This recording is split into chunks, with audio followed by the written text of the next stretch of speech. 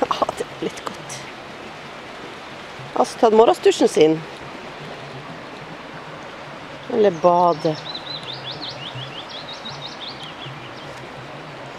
Vi har vært ute og gått tur nå en times tid oppe i Tromsdalen. Og det er fantastisk deilig ute. Litt småregn, men det gjør bare det at skogen dufter deilig. Så nå er vi våte og gode. Klar for en dag. Ny dag, begge to. Hei da.